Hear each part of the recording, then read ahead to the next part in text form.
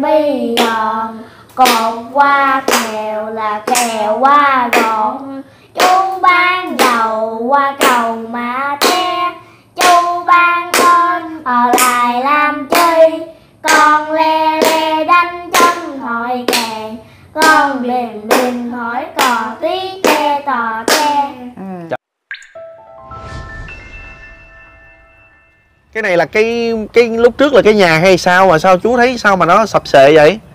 Dạ, đây lúc trước là cái nhà. Nhà mưa quá cho nên nó sập. Sập? Dạ, rồi không có tiền cắt lại? Dạ. Còn nhà đằng trước là ai cắt cho mình? Dạ, nhà đằng trước là của ông của con. À ở đậu thôi đúng không? Dạ. Cô ơi cô vô đây đi. Cô đi đâu á? À cũng bị bệnh. cũng bị bệnh mất đỏ luôn hả? Bà ngoại bị luôn hả? Dạ. À Câu chuyện bó đũa ngày xưa ở một gia đình kia có hai anh em Lúc nhỏ. Anh em rất hòa thuận Hai bẻ gãy được bó đũa này thì cha thưởng cho túi tiền. Con cùng nói thưa cha lấy từng chiếc mà bẻ thì có khó gì? Hôm đó Kiến đi dạo trong rừng Một lá thư nhẹ nhẹ bay xuống Kiến reo lên A thư của sóc Cậu bèn viết một lá thư khác. Ờ, Dạ Bùi Hồ xin chào cô bác quý anh chị. Chiều ngày hôm nay thì à, Bùi Hồ cùng với lại các anh em đang có mặt tại à, xã Bình Phú, huyện Càng Long của tỉnh Trà Vinh. Hình ảnh sau đây thì uh, chắc có lẽ là cô bác quý anh chị cũng khá là quen thuộc. Một hình ảnh một cái chiếc nhà vệ sinh tạm bợ Cũng đã gắn bó với gia đình của cô Út cũng khá lâu rồi. Hình ảnh này đã lấy đi rất là nhiều nước mắt của quý mạnh thường quân, cô bác quý anh chị, những nhà hảo tâm và những khán thính giả xem kênh. Một người bà cùng ba người cháu hàng ngày tắm dừa nước mái mà vừa nước mưa những mưa, bữa mưa nắng như thế này. Thậm chí là cái việc đi vệ sinh của bốn bà cháu phải đi ở, nặng ở trong cái bọc. Ướt, thì mới nắng lên tay nó trời lạnh trời nắng là phơi lên khô chỉ có một cái tấm tôn thôi nha. Thông tin với cô bác của anh chị là chỉ có một cái tấm tôn duy nhất. Cô bác của anh chị thấy không không có một cây đinh tại vì cái cây này nó cũ quá đinh đóng cũng không được luôn. Gần gần lại tí xíu đi anh đâu ở đây đồ đạc của các bé rồi ngoại đồ để chung đây luôn nè. Đó. Đây nè chỉ cái cây cây này kéo lại là tấm mà lớn lớn á. Thì thành thử mấy đứa bé với tuổi của của của tuyết á rất là lớn rồi là một người con gái lớn lắm rồi. Nên là nữ là tắm ở ngoài này thì nó cũng khá là nguy hiểm đúng không? Phải đi ở trong mọc luôn hả? Mà trời ơi em đừng có cười không không con không có cười đâu. Rất rất buồn. Và cũng may mắn rằng sau đó một thời gian chưa đầy được nửa tháng thì à, các bà cháu lại được sự chung tay góp sức của quý mạnh thường quân. Để có một nơi ở kín đáo hơn và ít ra là cũng phải có một nhà vệ sinh an toàn hơn cho các bé cũng như là bà. Nhà vệ sinh cũ này á thì uh, như bùi hồ đã chia sẻ chỉ có một cái tấm tôn. Một tấm tôn và một cái cây gạt ngang mỗi lần đi vệ sinh như thế này. Như thế này thì nó không có đủ độ an toàn cho các bé và đặc biệt là bé tiết bé tiền càng ngày càng lớn lên nữa. Nên là nữ là được sự hỗ trợ chung tay góp sức của cô bác quý anh chị. Mà ngày hôm nay gia đình của bé lại có một cái nơi ở mới và thậm chí là một cái nhà vệ sinh mới cái nhà vệ sinh này, số tiền xây thì à, phải nó cũng rất là lớn. Mà có được cái nhà vệ sinh như thế này là nhờ sự chung tay góp sức của quý mạnh thường quân. Thay bằng một cái nhà vệ sinh được dựng tạm bờ lên, giữa một cái, những cái lùm cây như thế này là một cái nhà vệ sinh hiện đại hơn, kiên cố hơn, bấm nút và có thể cho các bé không còn cái tình trạng ám ảnh mỗi lần đi vệ sinh trong một nữa và không nói nhiều nữa mời cô bác quý anh chị qua cái khu nhà gian nhà lớn được cắt lên à, bởi à, các đội của anh Vũ Thợ Sắt và đội của anh Hợp Thợ Hồ với thời gian thi công à, gần 10 ngày. Mày bán giấy số là ba 130 tờ hả? 132 tờ 132 tờ là được nhiêu? 132 nghìn Đâu lấy ra coi coi cho con coi coi còn được nhiêu.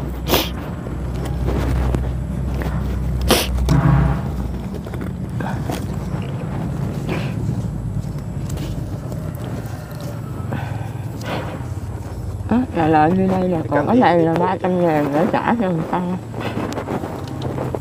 Đó, thì hôm nay thì à, Bùi Hồ cùng với các anh em đang có mặt tại huyện Càng Long, xã Bình Phú. Bình Phú, huyện Càng Long của tỉnh Trà Vinh để chia sẻ đoạn clip này cho cô bác quý anh chị biết thêm. Và ngày hôm nay được chị à, chị Trinh giới thiệu về hoàn cảnh của ngoại á. Thì con thay mặt cho à, chị Thanh ở Mỹ gửi cho ngoại 2 triệu.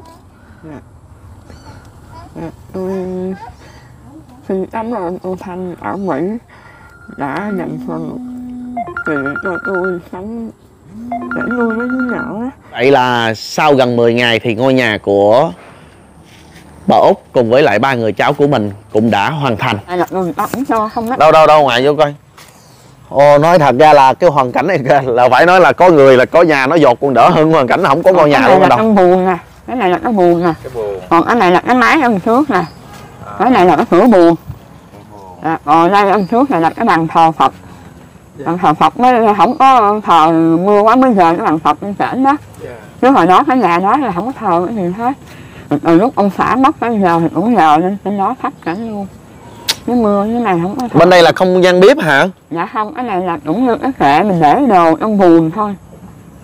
Để đồ trong buồn thôi rồi à, nói thiệt nè ở ở đậu nhà em chồng vậy có khi nào lo em chồng đuổi không? Dạ, cũng cũng cũng lo tự vì mình còn em dâu nữa. Nên nếu mà em chồng không thì cũng không đến nỗi nào.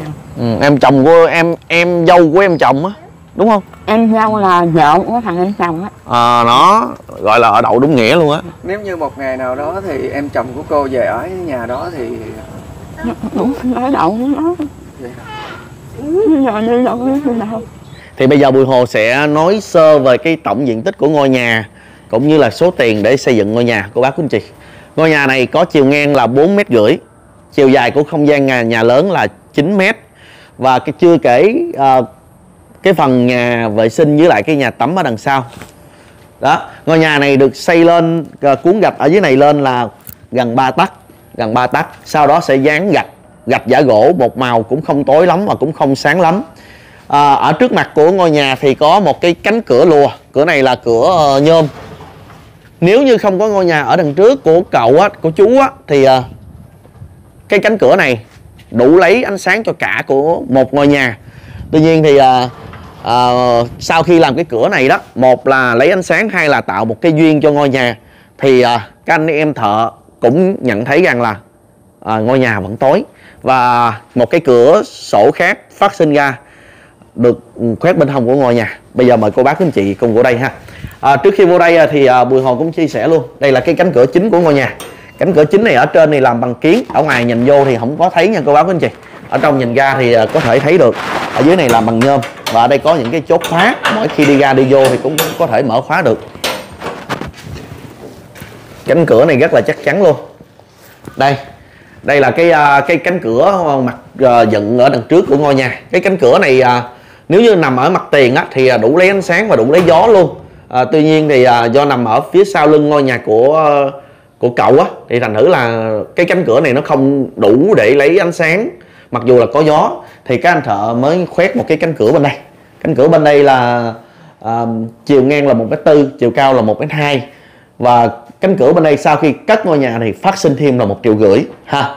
Còn ở dưới đây là được dán gạch gọi đây là gạch gạch giả gỗ. Gạch này thì có chiều à, là 5 tấc vuông. Đó gạch rất là to hơn so với những ngôi nhà trước đây mà Bùi Hồ đã cùng từng và các anh em cũng đã từng à, xây cho các anh à, như là ốm nhất gia đình của nhất hay nhà đình Cẩm Tú hay là của bé Kim Chi một cô bé tí hon ngay tại Hậu Giang và sau khi các nhà xong thì uh, Bùi Hồ cùng với một đồng cũng đã đặt lật đặt đi chạy đi mua cái nội thất ở trong nhà. Tí xíu nữa nói luôn về cái phần nội thất ha.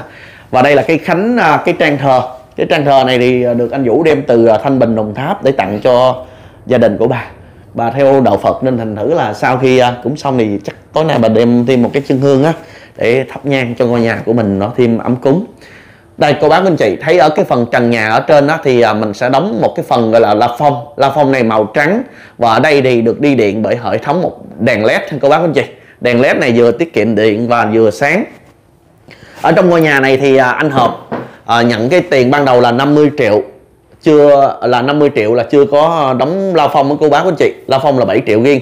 Thì anh hợp 50 triệu gồm có đi điện, đi nước luôn. Điện ở đây thì anh hợp đi được ba cái tiếp lô tiếp lô ở đây tiếp lô ở phòng ngủ và một cái tiếp lô ở nhà bếp. Và đi luôn cả một cái phần hệ thống chống giật như thế này. À, đây là một cái hệ thống ờ, chống giật mỗi khi điện nó mát hay là có dấu hiệu gia chạm gì thì công tắc này nó sẽ tự bật luôn. Ở ngoài trước này thì mình sẽ có một cái, cái cây quạt. Ngôi nhà này thì rất là cao. Chiều cao của ngôi nhà này là đến đỉnh ở phần trước đỉnh là 4 mét và la phong là hình như là 3 mét 6 hay sao á. Từ ở dưới mặt gạch lên đến La Phong là 3 m sáu. Nên ngôi nhà này nói về cái độ nóng thì ngôi nhà này không có nóng nha cô bác anh chị. Um, do là ngôi nhà nằm ở trong một cái lùm cây phải gọi là một lùm cây đằng sau lưng thì cũng cây bên hông cũng cây bên kia cũng cây nên là nữ. Mặc dù khoét thêm một cái cửa sổ như thế này thì ngôi nhà mình vẫn thấy hơn tối hơn so với những ngôi nhà còn lại.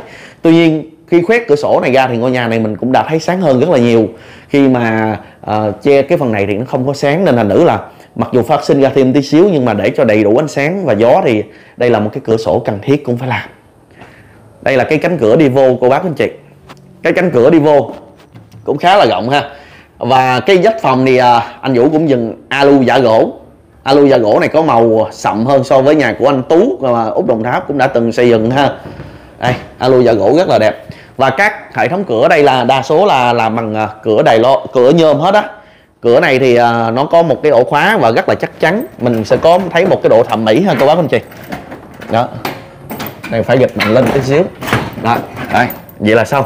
Đi xong thì bấm nút lại mở khóa ra. Ở trong đây thì à, cũng đi một cái hệ thống cái bóng đèn to. Rồi một có cũng có cái quạt gió. Đó cũng có đèn cũng có quạt gió ở đây. Cái phòng ngủ thì để à, ngay tại chỗ này phòng ngủ thì à, bùi hồ cùng với anh một đồng cũng đã lật đặt Úc đồng tháp thì đi mua đồ nấu ăn. Còn bùi hồ với anh một đồng thì mua những cái chiếc giường mua nệm mua ga mua gối.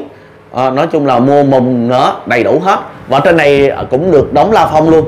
Để lấy được cái uh, luồng không khí á, thì uh, cái phần này mình sẽ dừng không có bích luôn mà trừ một khoảng trống để thông với cái nhà sau. Tại vì nhà sau nó cũng có một cái cửa gió lùa vô. Ha rồi bây giờ mình sẽ tắt này để cho nó tiết kiệm điện chưa chưa tắt này chưa tắt. Ờ, chưa tắt. Đây. À, cái phòng ngủ này à, bị do là 9 mét thì cái phòng ngủ này bề ngang cũng khá là hẹp nên anh nữ không mình không thể nào để một cái giường vô đây được ha. Không thể nào để, ủa không thể nào để một cái tủ xin lỗi cô bác anh chị. À, tới qua đây. Toàn bộ ngôi nhà này thì uh, đều bộ toàn toàn bộ là dán gạch. Màu gạch sau khi mà được lót xong dán xong thì cô bác anh chị có thể thấy là rất là sáng đúng không? Rất là sáng đó, ở đây cũng có một cái hệ thống điện nè.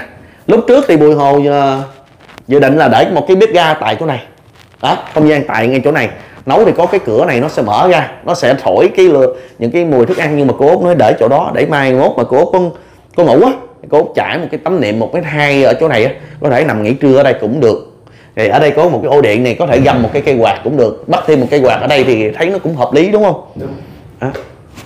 ở đây là cái tủ. Cái tủ này à, 3 triệu đồng à, cái tủ này có ba ngăn. Ngăn này thì để à, đựng à, quần áo để có thể máng móc á. À, máng móc cho đồ nó đẹp. Còn cái ngăn này thì à, quần áo để mà xếp và thậm chí có hai cái tủ đựng tiền ở dưới kìa. Cô bác đến vậy thấy không? Cái tủ này cũng khá là chắc chắn ha. chỉ có một mét tư nhưng mà ở đây thì à, bán à, 3 triệu. À, Bùi hồ có nói là làm thiện nguyện nên à, cũng không có trả giá. Nhưng mà mình tin tại vì cái tủ cái giường là một triệu ba năm mươi nhưng mà chị bớt lại còn chỉ có một triệu ba thôi. Đó, đây là một cái bê không gian của bếp ga. Này củi này nè chú. Đâu đâu xích ra ngoài kia coi. Trời mưa rồi sao nấu? Dạ tại con nấu hồi sáng rồi cho nên không có nấu nữa. Đâu đâu dở ra coi. Ôi trời ơi.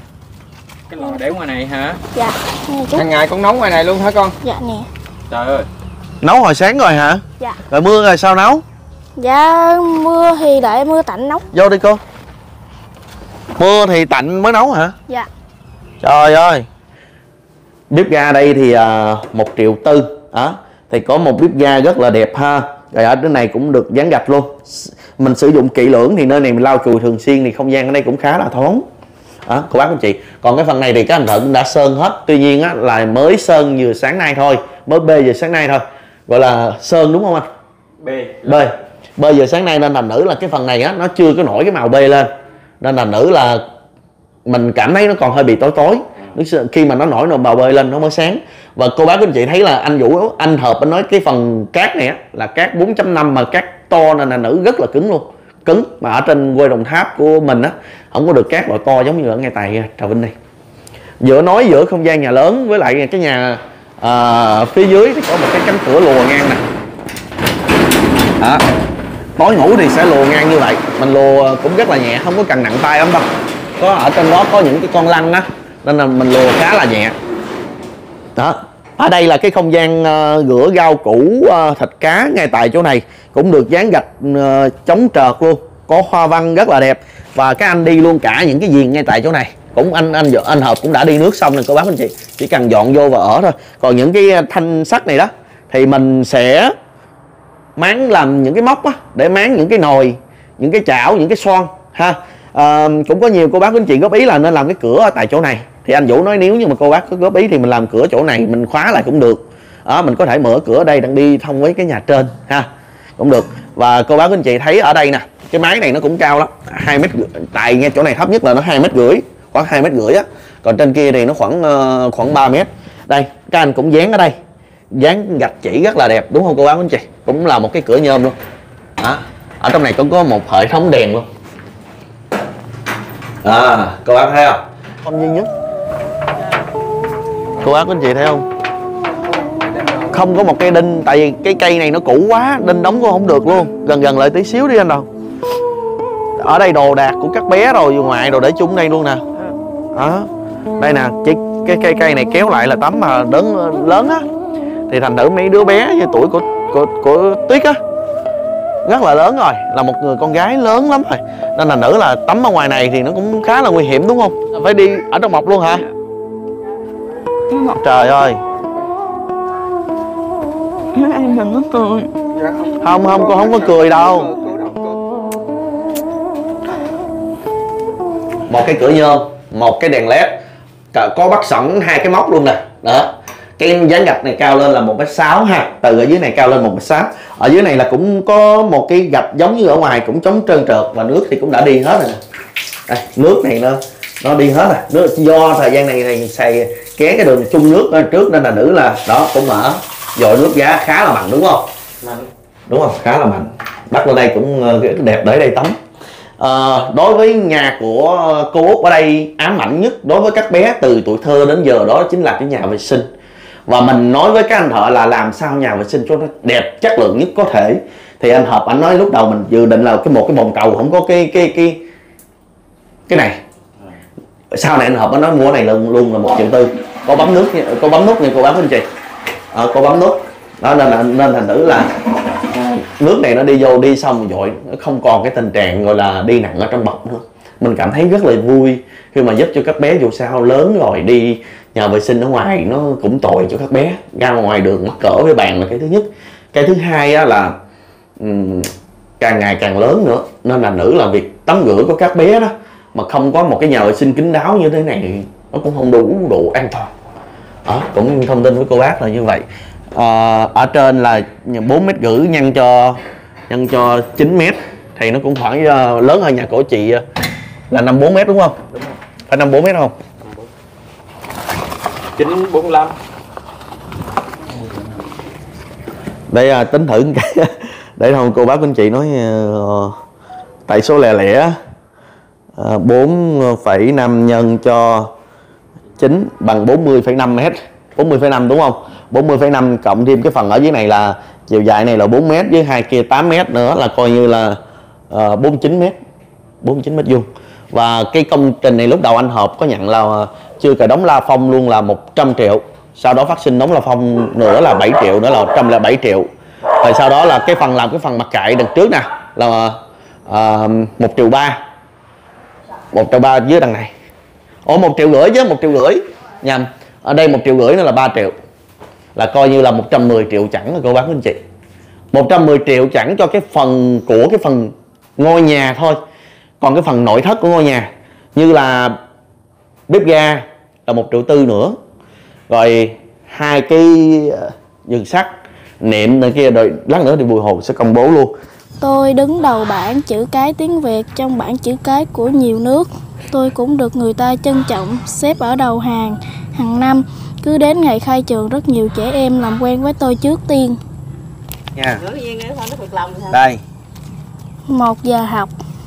Đúng là nói trước cả lớp thì chẳng hề dễ chút nào. Lúc đầu quan còn ngượng chịu.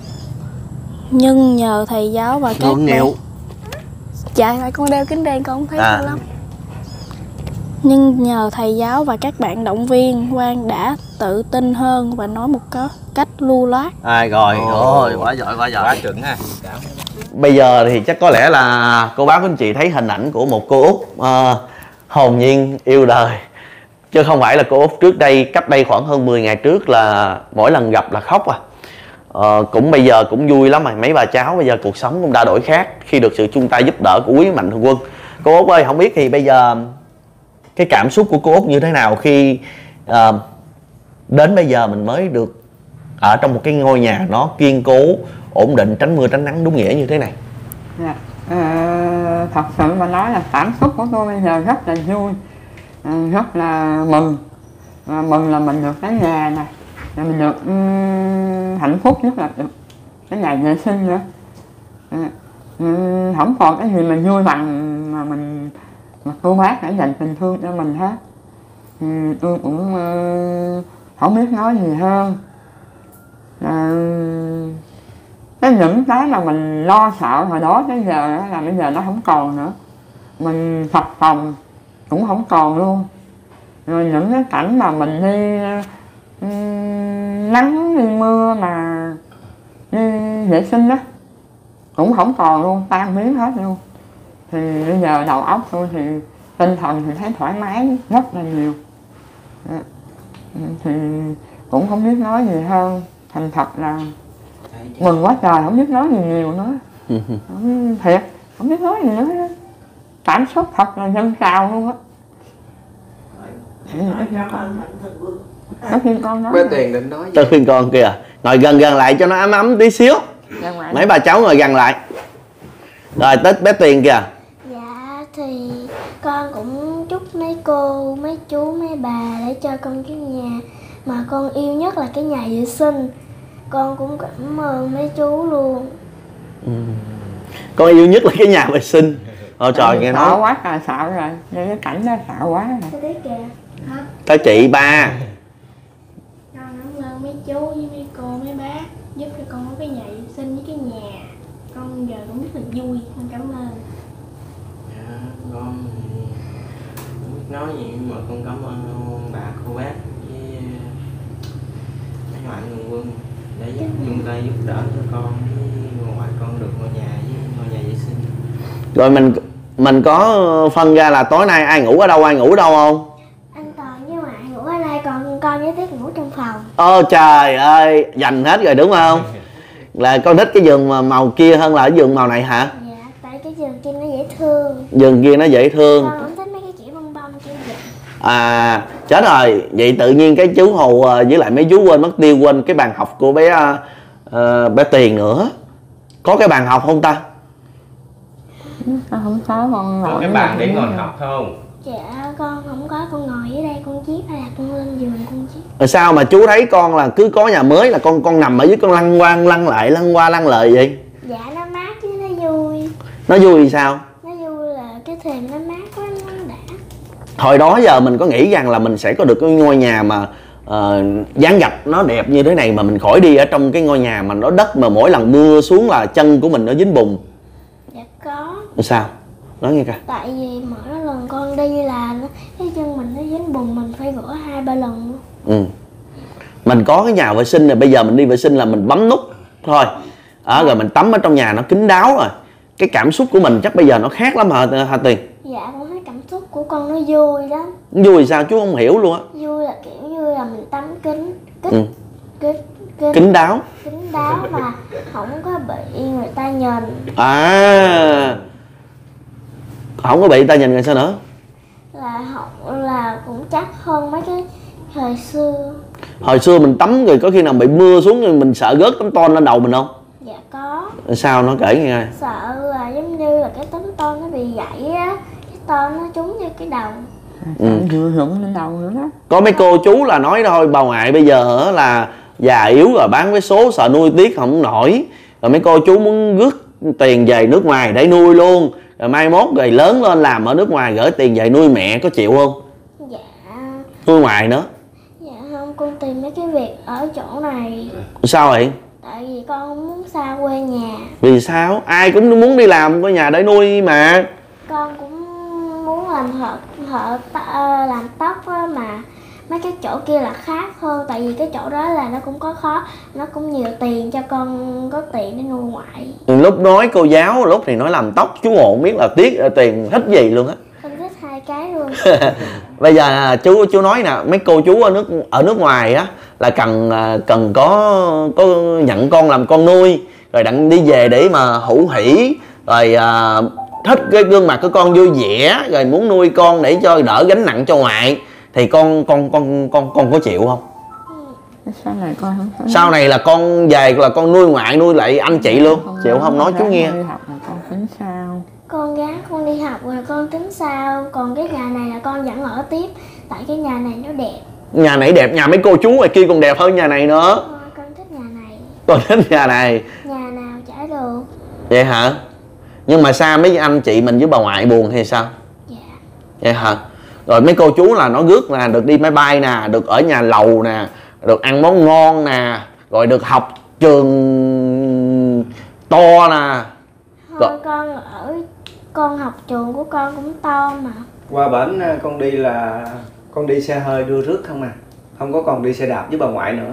Là mình ăn toàn là chân gà đùi gà gán đúng không á chứ không phải là ăn với mấy đậu que giống như lúc trước chú hồ thấy đâu Thôi, con ở trong với ngoại là con thấy hạnh phúc rồi vậy hả ở chung với ngoại là thấy hạnh phúc rồi dạ bây giờ về rước con với bà ngoại đi luôn với thêm anh chị luôn nữa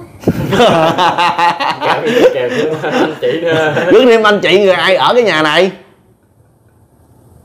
tụi con hả được rước đi hết trơn con nội rước đi hết trơn bây giờ con với ngoại đi anh chị ở đây thôi giờ giờ tụi giờ con với ngoại với con với anh Tần ở đây luôn à, không đi nữa tại sao lâu lâu mình có cơ hội mình đi nước ngoài cho vui học cho giữ rồi rước dạ thôi con chơi với chị Tiết anh Tần với ngoại con thấy vui rồi chứ con không có muốn rời xa ai hết trơn. Vậy hả? Dạ. Rồi ví dụ như mình ở đây mà cứ tối ngày bà ngoại cho mình ăn rau luộc rồi chan nước tương rồi đậu que luộc lâu dữ lắm bà ngoại mới cho ăn miếng thịt miếng hột vịt miếng cá mồi buồn không? Dạ không. Vì sao? Tại vì mình cũng phải có ăn mà cái đồ đó là cũng cũng không được chê. Vì sao? Tại cái đồ đó vậy thôi chứ mấy cái người nhà nghèo ăn vô cũng ngon. Ai nhà nghèo? Ai nhà nghèo? Gia đình con. Gia đình con. Chú thấy gia đình con bây giờ giàu giàu thấy sợ luôn người nghèo gì nữa. Nhà có ván gạch rồi có ấy rồi giàu quá giàu luôn rồi. Giàu hơn mấy chú luôn đó. Nhưng mà tiền cũng ít mà. Nhiều lắm á. Có đâu ngoại đi bán luôn mà. Ừ? ngoại đi bán cũng có vài lần ế mà. Ngoại ới rồi ngoại cho ăn gì? Ăn rau à. Có một phần tư rồi. Đó có mấy cô chú á là khen à, bạn à, bạn tiền lắm. Nói bạn tiền nhỏ nhất nhà nhưng mà bạn tiền là nói chuyện nhiều nhất nhà lâm nhất nhà luôn. Mấy cô chú nói ước gì mà nghe bạn tiền hát thử một cái coi làm sao? Làm cái gì cái gì mà hát thử một cái thôi. Hát đi hát tặng mấy cô chú Bài nào cũng được trơn á. hát hát hát bây giờ cô chú dám cho mình cái nhà không lẽ mình không dám hát sao? Thôi thì con cứ hát hát nữa nhạc. Con hát đi hát nhạc đi thôi ừ. con hát nhạc đơn của trong tập của con được không? Được. Con quen cái mà kiểu như cái bài một kia. Ừ được. Phải hát ra chứ phải hát nha. nhạc thiếu nhi đi là là Ừ, hay rồi. bữa con hát rồi nó rồi hay á cái mà bạn vừa hát hát thì nửa tay. cái bạn hát chưa biết con con mới dám hát chứ con ngại muốn chết. Một một tràng pháo tay. Bạn tiền bạn tiền bạn tiền hát trước đi. Bạn với bạn Tuyết hát chung. Mình nó ngại nó muốn hát. Ờ hai mình hát mà hát trước chỉ có chị mà rồi bây giờ tiền hát trước nha. Hai ba. Nhớ hát với em đi chứ Hát với em đi. à đúng rồi bắt kim thang đúng rồi. À đúng rồi. rồi vừa hát vừa nửa tay hai ba. Em. Bắc Kim Thang Cà Lan Bi Giòn Cột qua kèo là kèo qua gọn. Chú ban dầu qua cầu mà te Chú ban con ở lại làm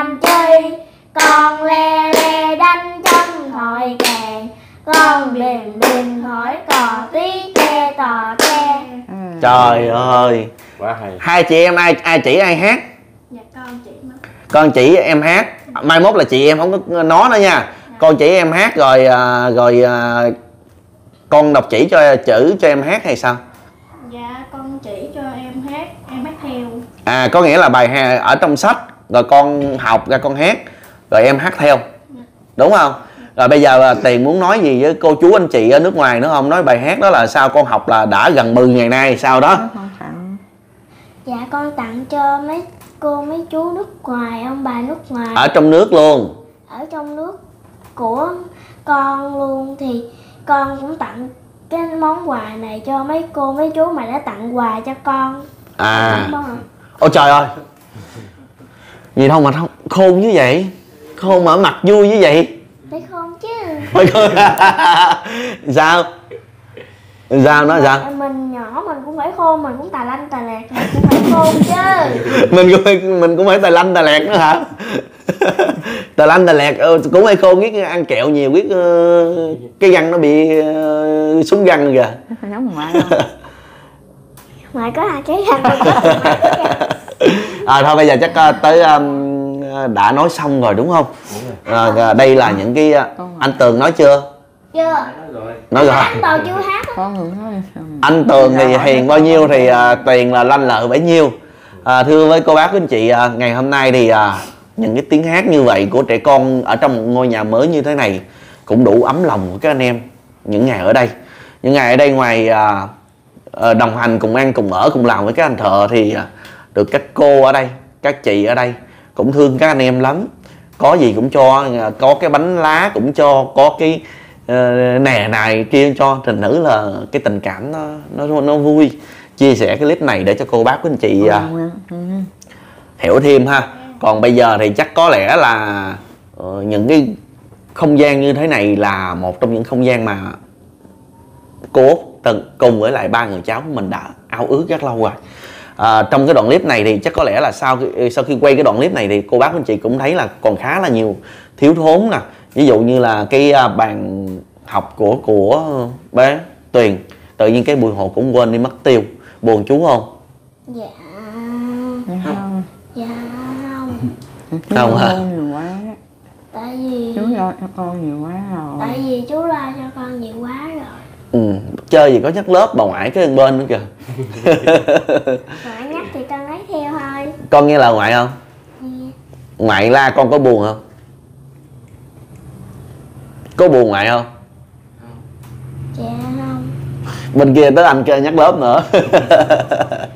Thôi thưa, thưa với cô bác anh chị thì chắc có lẽ là đoạn clip này để quay tổng thể về ngôi nhà của bà cụ cho cô bác anh chị xem.